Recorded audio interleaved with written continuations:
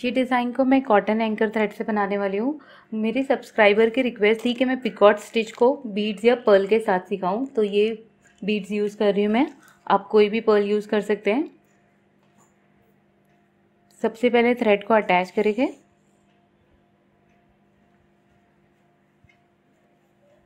Single stitch बनाएँगे।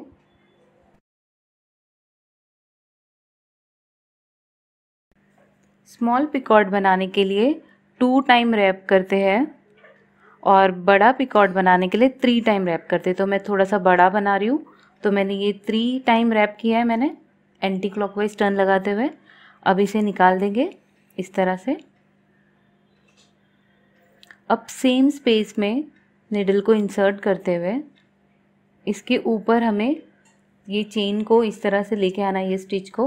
और ये एक अटैच थ्रेड है, इस पर निडल रखना है। और ये एट जैसा दिख रहा है, इसे थ्रेड को ऊपर से पुल करना है इस तरह से।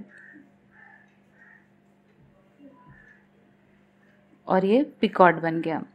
अब ये पिकॉट को फिर से हम एक स्टिच लेंगे, इसे अटैच कर देंगे।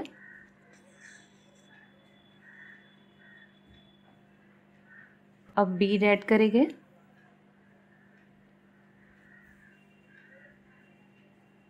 बीट को भी अटैच कर देंगे।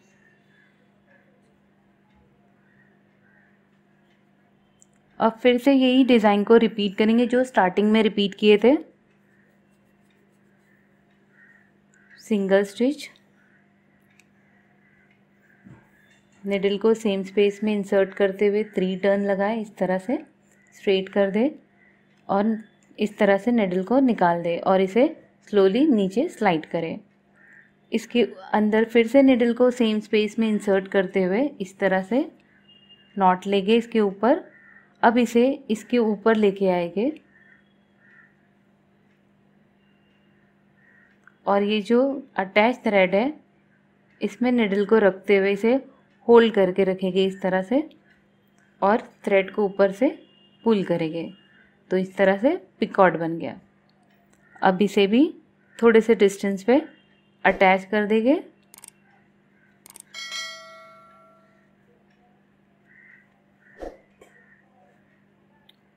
और सेम रिपीट करते हुए फिर से एक बीट को ऐड करेंगे। तो ऑल्टरनेट बना रहे पिकॉट स्टिच विथ बीट्स तो सेम कंटिन्यू करें जिस तरह से मैंने स्टार्टिंग में किया था और ये डिज़ाइन को कंप्लीट करें।